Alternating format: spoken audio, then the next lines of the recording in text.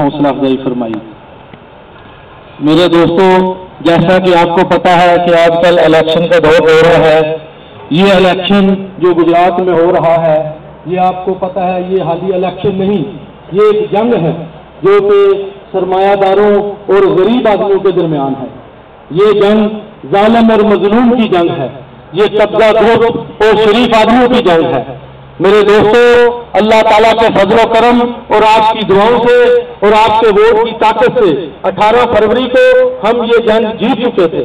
اور انشاءاللہ تعالیٰ، اللہ تعالیٰ کے فضل و کرم اور آپ کی دعاؤں سے اور آپ کے ووٹ کی طاقت سے چوبیس مارچ کو بھی ہم ہی یہ جنگ جیتیں گے۔